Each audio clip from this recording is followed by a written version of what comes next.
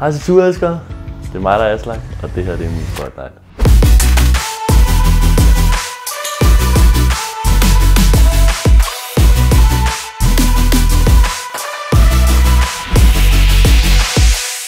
Jamen Aslak, ja, man var pisse træls i, i starten.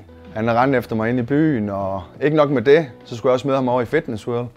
Indtil min makker egentlig øh, sagde til mig en dag, at øh, han havde mødt et eller andet unge knejt inde i byen, øh, som øh, var sindssygt dygtig til at tegne. Så spurgte jeg, hvem var det? Jamen, det var ham og Aslak der. Så tænker jeg for helvede.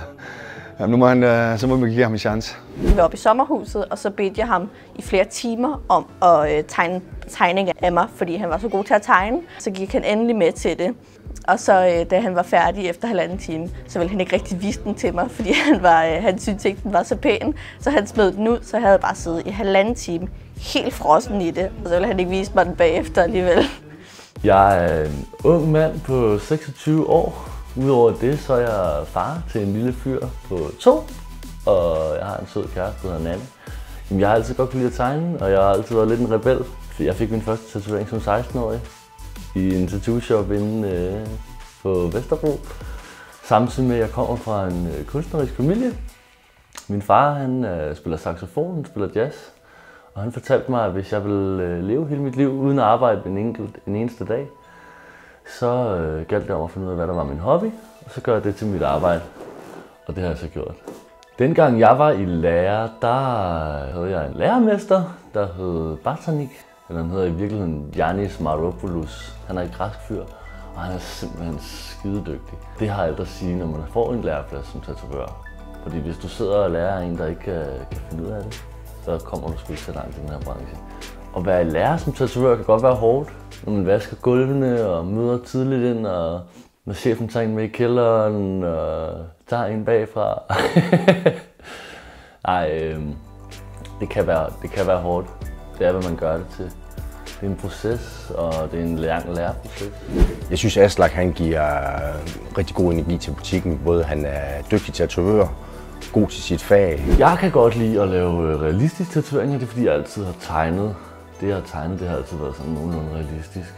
Øhm, jeg kan også godt lide at lave det sådan lidt, horror-agtigt. Det må gerne være noget ondt, det synes jeg faktisk er rigtig fedt. Men jeg kan også godt lave øh, realistiske farvetatoveringer, realistisk black and grey. Jeg laver også noget som Maui, men primært så er jeg en realistisk black and grey artist.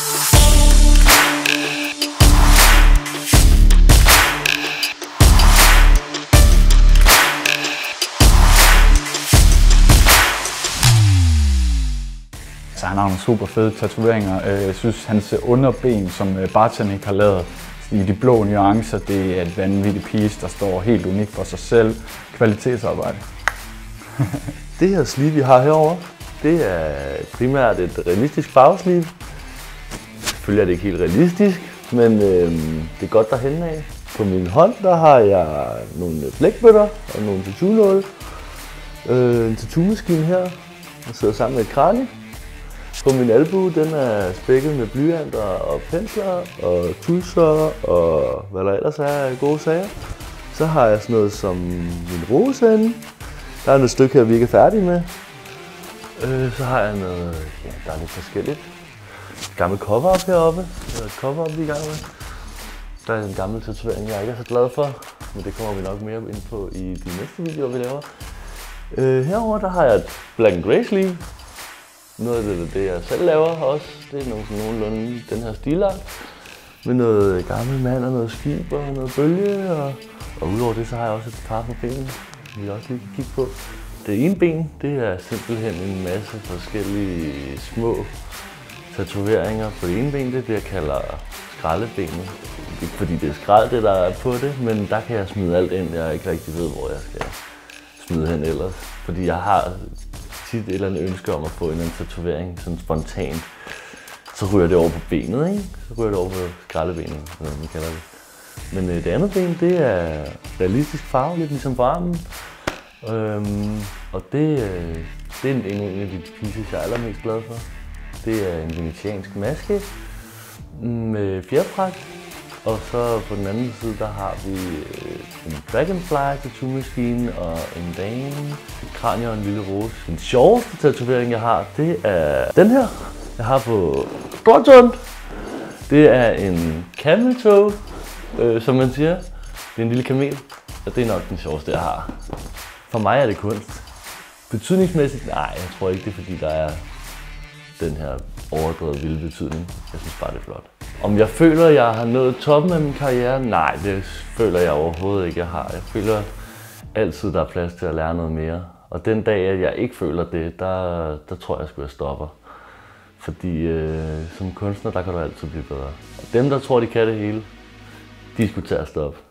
Aslak han var min, øh, min første lærermester inden for tatoveringsbranchen. Altså, det var ligesom, da jeg startede i lærer, der var det første ansigt, jeg sådan rigtig mødte, det var faktisk Aslaks øh, store, øh, glade smil. Jeg var med huske, da jeg startede, der var jeg jo rigtig, rigtig nervøs. Du turde ikke engang stikke folk. jo. Nej, jeg turde ikke engang snakke til virkelig- folk, når de kom ind i butikken. Ja. Der var Aslak rigtig god til at sige, her, sæt dig ved siden af mig, se hvad jeg laver, se hvordan jeg gør, altså hvordan jeg håndterer kunden eller snakker med kunden. Og jeg kan rigtig godt lide at lære fra mig faktisk, fordi øh, jeg kan godt lide at hjælpe andre mennesker. Men jeg har det sådan lidt, at folk de skal skulle gøre sig fortjent til det. Hvis ikke at du er øh, en rar person, hvis ikke du er en person, jeg kan lide, så har jeg ikke det samme øh, ønske om at hjælpe dig. Men jeg elsker at hjælpe de folk, som jeg føler fortjener det. Til jer derude, der godt kunne tænke jer at være tatovør, lad nu være med at købe et øh, kinesersæt på eBay, og så gå hjem og tatovere alle vennerne. Fordi det kommer der sgu ikke rigtig noget godt ud af. Der kommer til at være en masse tatoveringer, der skal rettes af professionelle, og du eventuelt skaber du et dårligt rygte for dig selv, inden du overhovedet er kommet i gang. Så jeg vil helt klart gå undersøge så meget du kan om branchen, undersøge så meget omkring stilart stilarter inden for tatovering du kan. Selvfølgelig kræver det, at du er god til at tegne, og jeg vil også anbefale, at man måske specifikt øh, går i en retning, og så prøver at tegne eventuelt noget realistisk, hvis det er det, man godt kan lide at tegne. Eller så skal du måske prøve at undersøge, hvad old school er. Det er lidt nemmere at tegne måske. Der kan man måske starte, og så kan man altid bevæge sig videre i skridtene i stilarterne. Hvis I godt kan lide at se de her spotlights, så like den her video. Eventuelt uh, subscribe, så I bliver holdt opdateret med alle de videoer, vi smider op. Hold jer skarpe, hold jer tusset, og så ses vi en gang i næste uge til endnu en video.